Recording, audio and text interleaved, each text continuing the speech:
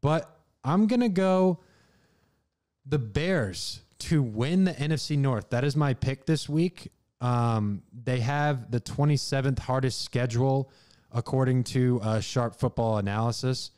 Uh, key games I kind of circled on their calendar. They play at Tex, at Houston, at the Colts, versus the Rams, versus the Jaguars, versus the Packers, at Lions, at 49ers, and then they got the Lions and Packers. Um, those are the key games I circled. Uh, it's a it's a it's a winnable schedule. I, I I see a world where the Bears can win 11, 12 games. Now I know what people are going to be thinking. What about the Lions, man? The Lions, you know, they made it to the NFC Championship last year. And I go, okay, I hear you. But the Bears, by far, made the most improvements to their roster out of any team in football. They signed DJ or no, they signed DJ Moore to an extension actually, so they got him wrapped up. They got Keenan Allen. They drafted Roma Odunze. They signed Gerald Everett, and then they got Cole Kmet still. They got D'Andre Swift. I know a couple Lions fans are gonna be like, "Man, D'Andre Swift ain't that good. Like he he he can't, you know, find the hole through the offensive line. He can't read it. Uh, uh, that's fine, but he is a fast, dynamic back. If he's healthy, he is good for this team. And then I like this Bears defense. I mean, I I'm a fan of this team. And Caleb Williams,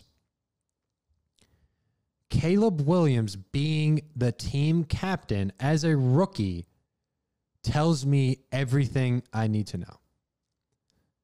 This is the first rookie captain Coach Eberflus has had in his 16 years in the NFL. And the question marks with Caleb were can he lead a locker room? Can he be a team player? And can he not be a distraction? And it seems like he's not. So I think this just helps that football team even more. And even the Bears GM, Ryan Poles, said this. He goes, Caleb is not being forceful with the leadership, it comes naturally to him. So I, think that's a good sign. And Caleb has shown flashes of what he can do. He is Patrick Mahomes 2.0. When you watch this guy, he is making the same plays that Mahomes does. And that's a game changer. That's a game changer. And, you know, the, the Bears are the Bears. I get it.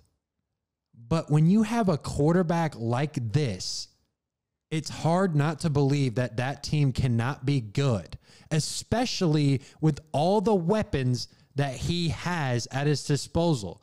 No rookie quarterback in NFL history has ever had this many weapons.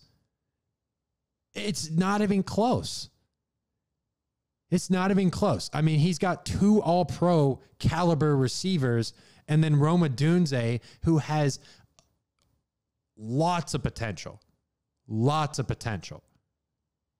So I'm going the Bears to win the NFC North. And I know it might seem crazy, but I mean, the Bears, they weren't even that bad last year. They won seven games.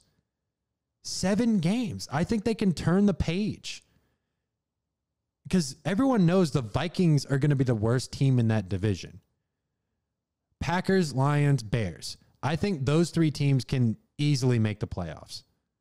Easily make the playoffs. And the Bears last year had the second best rushing defense in the NFL and the 11th best passing defense.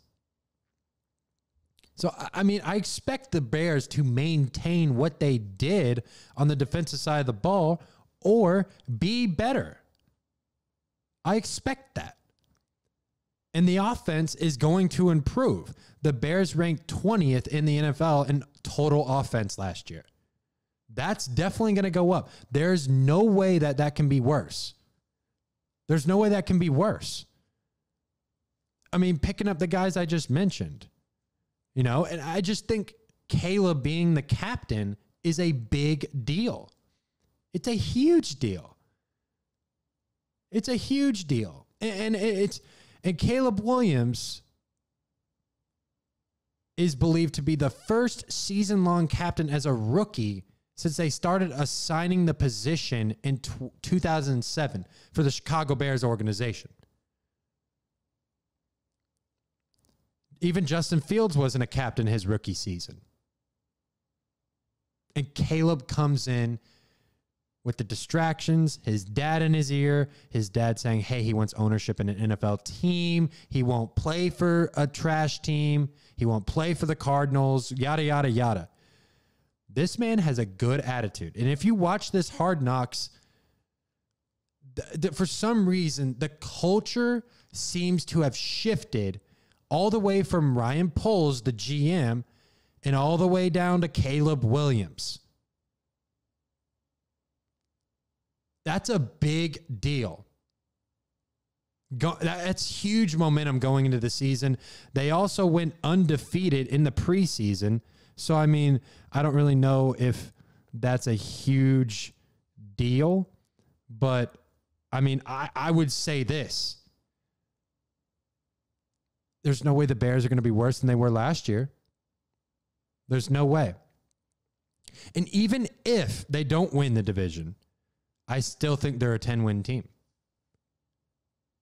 Their ceiling is winning the division. Now, I'm saying the Bears are going to win the NFC North, but I'm not saying the Bears are going to win a playoff game. I'm not saying the Bears are going to go to the Super Bowl. I know better than that. And I heard Nick Wright say the Bears are going to go to the Super Bowl. That is not going to happen. I truly believe that the Lions are going to have a slow regular season. They're going to have a hard time picking it up. I think they're going to sneak into the playoffs and go to the Super Bowl. I think the Bears are going to have a great regular season, but the inexperience of Caleb Williams and playoff football will catch up to them eventually. That's all I'm trying to say. The Bears are winning the NFC North, but I'm not saying they're going to win a playoff game or make it to the Super Bowl. I'm not saying those two things. Not I can't say those two things. Um so that's that's my pick that's my pick of the week. Um I just also like going back to Caleb a little bit. I mean, he's a leader, he's confident. And we talk about rookie quarterbacks having outstanding seasons. I think Caleb Williams can have an outstanding rookie season just like CJ Stroud, just like RG3, Andrew Luck, Russell Wilson, Cam Newton. We've seen rookie quarterbacks come in and contribute right away. And I think this is a guy who can do that. Like in the preseason, he seems to be able to read the field very well. And I know it's against backups, but that's a great sign because Justin Fields could not do that at all. It was night and day how different those two guys looked. It was. And even Justin Herbert in his rookie season, and Dak Prescott. Dak Prescott was a fourth round pick, came in, made the playoffs, number one seed his first year, lost the Packers. They didn't win a playoff game, but he got there. They were one of the best teams in football. Like on paper, this Bears offense is the best in the NFL. It is. So I'm we will move on to uh, more division winners, but I just wanted to lay out the NFC North for you and give you my reasons on why I think the Bears are going to win. Because I'm not just saying the Bears are going to win for no reason. I have logic behind this. Talk to me, baby. Talk to me, talk to me, talk to me nice. I'm from another world, baby, yeah. Red paradise. They think I'm way too cold, cause I